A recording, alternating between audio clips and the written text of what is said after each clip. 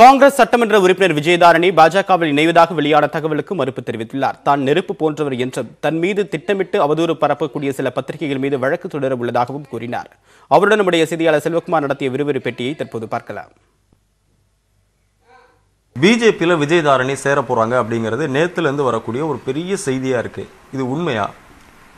இது உண்மைக்கு மிகவும் மாறான தகவல். இப்போ குறிப்பாக பார்த்தீங்கன்னா நேற்றைய முன்தினம் குஷ்பு போய் சேர்ந்தாங்கன்ட்டு அதுக்கு எதிர்ப்பு தெரிவித்ததே நான் தான். வேண்டுமென்றே என் மீது இப்போ என் கட்சியில் மெயினாக வந்து தலைவர் அழகிரி அவர்களும் நானும் அஹ், காங்கிரஸ்லேருந்தும் தான் இதை பற்றி தொடர்ந்து பேசியிருக்காங்க.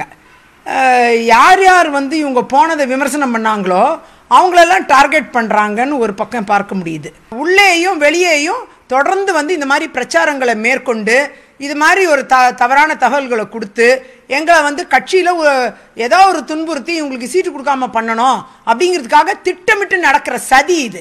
இந்த சதியை நிச்சயமாக நான் முறியடிப்பேன். இது மாதிரி வெளியிட்ட பத்திரிகைகள் மேலே நிச்சயமாக நான் வந்து அவதூறு வழக்கு மட்டும் இல்லை கிரிமினல் சைடில் இருக்கிற டெஃபமேஷன் கிரிமினல் டெஃபமேஷன் ஃபைல் பண்ணுவேன்.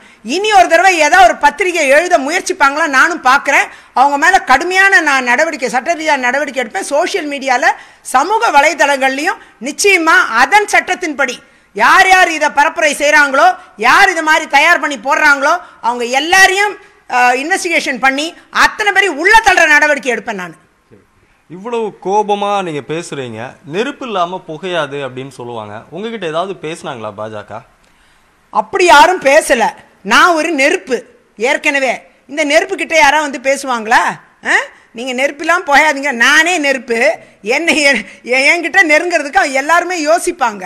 பரம்பரையா காங்கிரஸ் கட்சியில குழந்தை முதலே வள- வளர்க்கப்பட்டவன் நான்.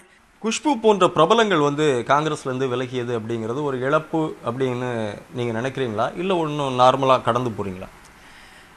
இது நார்மலாக கடந்து போகிற மாதிரி தான் எனக்கு தெரியுது. ஏன்னா தலைவர் அழகிரி எங்கள் மாநில தலைவர் சொன்னது போல் அவங்க கட்சிக்குள்ளே வந்து ஆறு வருஷம் ஆகுது. அதாவது ஒரு முப்பது வருஷம் இருந்த ஒருத்தர் வந்து கட்சியை விட்டு போகிறாங்கன்னா இந்த கட்சியில் இருக்க ஒவ்வொரு தொண்டனும் ஏன் போகிறாங்கன்ட்டு ரொம்ப வருத்தப்படுவாங்க. இவங்க ஒரு செலிபிரிட்டி ஒரு நடிகை அவங்க வந்து ஒரு நல்ல அந்த திரைத்துறையில் சிறந்து விளங்குனதுனால வாய்ப்புகள் வந்து எங்கள் கட்சியில் தரப்பட்டது. வந்தவங்க ஆறு வருஷத்தில் வந்த வேகத்திலே போகிறாங்க எல்லா நல்ல பதவிகள்லாம் கொடுத்து அவங்கள நல்லா அங்கீகாரப்படுத்தி முன்வரிசையில் வச்சு அழகு பார்த்துச்சு காங்கிரஸ். அதெல்லாம் எந்த குறையும் அவங்களுக்கு வச்சதா எனக்கு தெரியல.